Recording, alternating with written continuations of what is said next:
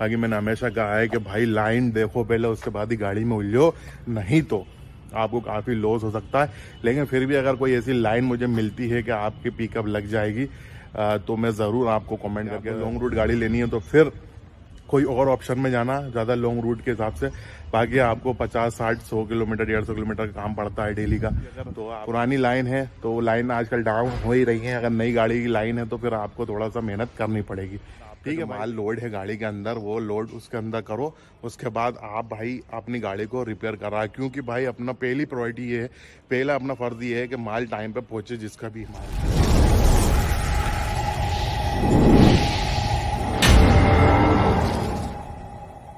हाँ तो दोस्तों welcome to my channel real info blog भाई। कैसे हैं आप लोग? उम्मीद करता हूँ अच्छे होंगे, मस्त होंगे, लाइफ में जो कर होंगे। भाई, आज अपने पास जी तो नहीं है, जी तो गया कहीं और।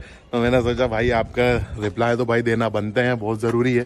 तो भाई, आपके जो सवाल के जवाब हैं, वो ज़रूर दूँगा मैं, क्योंकि अपना काम ही है भाई, सही क्वेश्चन का जवाब देना और आपको सही सजेशन देना। तो शुरू करते हैं बिना टाइम वेस्ट किए। वीडियो को भाई पूरा देखना और लाइक सब्सक्राइब कमेंट करके ज़रूर जाना, ठीक है? हाँ भाई, साहिल खान रास्ते में गाड़ी ख़राब हो जाए तो क्या करूँ? और कच्चा माल लोड है तो मिस्त्री को कैसे खोजें? तो साहिल भाई, मिस्त्री खोजें तो पहली चीज़ तो ये है कि टोल फ्री नंबर लगा लो, आप महिंद्रा के अगर आपके पास नहीं है तो इंटरनेट पे गूगल पे आपको मिल जाएँगे बहुत आसानी से। अगर आस पास सिटी है तो आ जाएगी फ़ौरन गाड़ी। और अगर आपको कोई बंदा मिल जाए तो उससे जानकारी लो कि यहाँ पर मैकेनिक कौन है, ठीक है? उसके बाद भी अगर ज़्यादा आपको टाइम लग रहा है, जैसे मैकेनिक आ जाता है तो भाई वो कहता है कि ज़्यादा खर्चा है, ये है, वो है, ठीक है? और क्या चीज़ है जीतो के अंदर ख़राब? ये सब चीज़ें तो मैंने भाई जीतो के चैनल अपने इस रियल इन्फो व्लॉग में चैनल में डाला हुआ है कि क्या क्या आपके ख़राब हो जाए तो इसमें क्या खर्चा आ रहा है और क्या नहीं चीज़, सब चीज़ मैंने इन्फॉर्मेशन दी हुई है। और वायरिंग इशू से मिस्टेक है तो सब चीज़ें मैंने दी हुई हर एक चीज़ अपने जीतो का दिया हुआ रियल इन्फो व्लॉग पे। अगर फिर भी अगर ज़्यादा खर्चा आ रहा है तो बात अलग है। और ज़्यादा टाइम भी अगर लग रहा है तो भाई सबसे पहला काम ये करो आप कि भाई गाड़ी को किसी को आप हायर करो।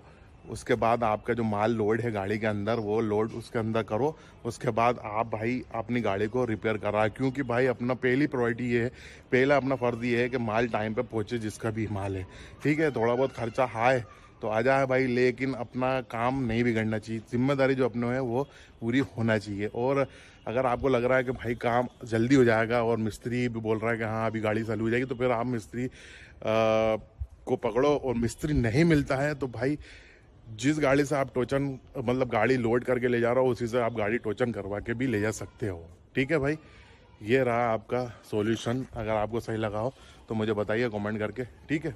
नेक्स्ट पूछ रहा है भाई कर्मा ग्राबिटिन इंटरप्राइजेस भाई का चैनल का नाम है। आ, आपकी वीडियो सारी देखी हैं भैया बढ़िया समझाते हो। आप आठ साल पुरानी Jeeto S six S X F seven सोलह। लेना सही डिसीज़न है क्या? उसमें ज़्यादा काम तो नहीं आएगा। फिर बार बार काम ही करवाना पड़े हमेशा इसका थोड़ा डिसीज़न। दीजिए ना मुझे, लेना है, लेना ही, लेना है। महिंद्रा जी तो इसका एवरेज और गाड़ी दोनों पसंद है। तो मेरा भाई, आठ साल पुरानी मिसाल के तौर पर मैं ये मान लो कि आप सोलह, सत्रह सत्रह मॉडल होने चाहिए वो। तो भाई गाड़ी चेक करा लो आप, और गाड़ी बड़ी होती है, जी तो प्लस से थोड़ा सा फ़र्क है बस, बीच वाली जैसे मेरे पास है एस सिक्स इलेवन इसमें एस सात सोलह और एक जीतो प्लस आई था तो ये बीच वाला मॉडल है। अब तो जीतो स्ट्रॉन्ग आ गया तो ये दूसरा नंबर वाला मॉडल हो गया। तो मतलब मैं ये कहूँगा कि आप गाड़ी चेक करा ली एवरेज से तो बहुत शानदार हिसाब करो एवरेज से मज़ा आ जाता है गाड़ी में। हर चीज़ में ओके है और गाड़ी में कोई इशू नहीं है। बाकी ये है कि देखो, अब मेंटेनेंस तो भाई जीतो मैं कहूँगा आपसे, जैसा मेरे पास भी इतनी पुरानी गाड़ी हो गई तो मैं मेंटेनेंस कराता रहता हूँ। और मेंटेनेंस से घबराइए मत भाई, काम तो कराना पड़ता है, कोई सी भी गाड़ी लो, आप भाई टाटा एस मैजिक भी ले लो तो भी उसका मेंटेनेंस तो देखना ही पड़ेगा। लेकिन यह है कि एवरेज भी काफ़ी बढ़िया है। आपका अगर, आपका ज़्यादा लॉन्ग रूट काम नहीं है, आपका ऐसा काम है कि आपको ज़्यादा दूर नहीं जाना है, आपका जैसे बिज़नेस काम है इस हिसाब से लेना है, या आपको लॉन्ग रूट गाड़ी लेनी है तो फिर कोई और ऑप्शन में जाना ज़्यादा लॉन्ग रूट के हिसाब से। बाकी आपको पचास, साठ, सौ किलोमीटर, डेढ़ सौ किलोमीटर का काम पड़ता है डेली का। तो आप जी तो ये ले लीजिएगा और काफ़ी बढ़िया है। वो कम में मिल जाएगी गाड़ी, डेढ़, दो लाख रुपए के आसपास मिल जाती है। कैश में भी ले सकते हो आप। फाइनेंस भी कराओगे तो कम किस्त बनेगी। काफ़ी फ़ायदे में रहोगे। गाड़ी मैकेनिक को चेक करा के आप ले लीजिए। कहाँ से आप मुझे बताइएगा थोड़ा सा कॉमेंट करके। अगर भोपाल से हो तो मैकेनिक का मैं एड्रेस आपको दे लूँगा ऐसा जो मैकेनिक भाई हैं, वो सही आपको पूरी गाड़ी चेक करके बता दें। गाड़ी में कोई काम है तो नहीं। ठीक है?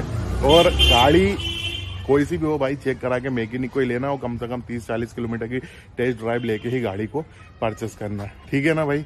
और कोई सजेशन चाहिए आपको तो कमेंट कर सकते हो, या तो फिर इंस्टाग्राम पे मेरे रियल इन्फो ब्लॉग पे आ सकते हो आप, ठीक? नेक्स्ट क्वेश्चन का जवाब हम देना चाहेंगे भाई। गेमिंग वर्ल्ड करके भाई मेरे पास मैक्स पिकअप है, उसके भाड़े नहीं मिल रहे हैं, कुछ बता दो। भाई, आप कहाँ से हैं कहाँ से हैं? मतलब आप मुझे बताइए, अगर आप सिटी से बिलोंग रखते हैं, जैसे इंदौर से या भोपाल से, या और कोई सी भी जगह से आप सिटी से बिलोंग रखते हैं तो आजकल भाई ऐप काफ़ी चल रहे हैं। और अगर आप, भाई मैक्सिमम ट्रक है तो आपको लोड मंडियों में ही मिलेंगे, या फिर ऐसी जगह जाओ कंपनियों में। आप वहाँ पे आपकी लाइन में ना हमेशा कहा है, भाई, आपके पास पुरानी गाड़ी है नहीं ली है, आपने नहीं ली है, ये पता नहीं, मुझे कमेंट करिएगा। बाकी मैंने हमेशा कहा है कि भाई लाइन देखो पहले, उसके बाद ही गाड़ी में उलझो, नहीं तो। आपको काफ़ी लॉस हो सकता है। लेकिन फिर भी अगर कोई ऐसी लाइन मुझे मिलती है कि आपकी पिकअप लग जाएगी तो मैं ज़रूर आपको कमेंट करके बताऊँगा वीडियो में बताऊँगा। बहुत से लोगों की रिक्वायरमेंट रहती है कि हमारी गाड़ी कहाँ लगाएँ कहाँ लगाएँ। तो मैं सब चीज़ें आपको बतला दूँगा मेरा भाई, ठीक है? लेकिन फिर भी आप कोशिश करते दीजिएगा और इतनी जल्दी हार ना मारिएगा। क्योंकि देखो, गाड़ी कम से कम कोई भी चीज़ हो, दुकानदारी भी आप करोगे तो उसमें भाई साल, डेढ़ साल तो देना पड़ेगा आपको, इसलिए गाड़ी में भी आपकी पहचान जब भी होगी, जब आप थोड़ा सा उसे रुकोगे।